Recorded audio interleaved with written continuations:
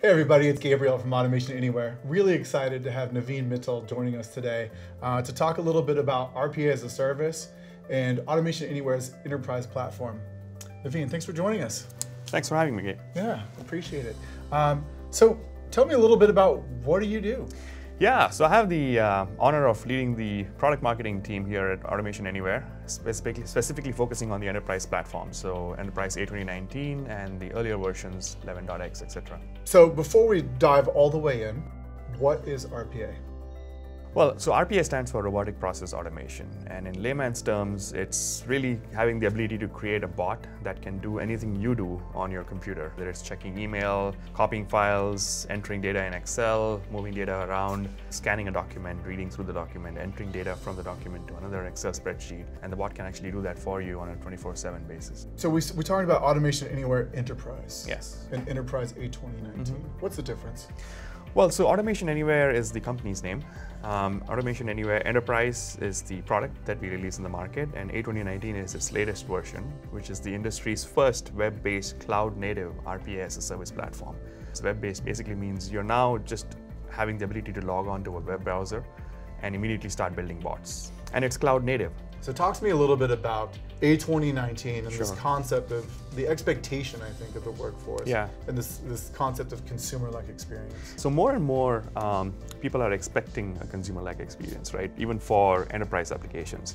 Um, they're used to the iPhone and they want the simplicity of being able to um, drag and drop and have very simple user interfaces. Um, so with A2019, that's really what we did. Uh, we have completely redesigned the UI where you just log into the browser once and you have the bot creation environment where you can drag and drop action packages into your process flow um, and you know save that bot and run that bot immediately from there. Uh, so that I think is really uh, groundbreaking in this industry. So with Enterprise A2019, Mm-hmm. there's now this concept of RPA as a service. Yes. Prior to A2019, um, your IT department would have to install the software in their data center and into the client's machines also, right? Now with RPA as a service, we are actually changing the game of RPA itself. We are going completely into the SaaS model, which is software as a service model, where since it's browser based, the users don't have to be physically present near anywhere near where the server is installed. Uh, they can actually be sitting, like I mentioned, on a flight, 30,000 feet. 30,000 feet. Um, developers, business users, and IT to IT managers can actually start building and managing bots from anywhere. Is it mobile friendly?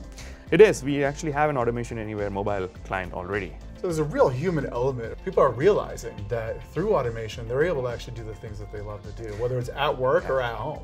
Yeah, yeah, it's, it's interesting you mentioned that because employee morale is one of the first things that increases when somebody starts deploying bots within their organization because now you're having an assistant, digital assistant working for you side by side along with you or in the background, you know, doing your work 24/7, like I said before, um, with 100% accuracy. So having that um, capability in your hand and the ability to build bots as you go is really um, enlightening for our customers. Yeah, I think it's, it's transformational. It's a game changer. And, Yeah. and Navin, thanks for joining us. Uh, always a pleasure to hear, um, Yeah.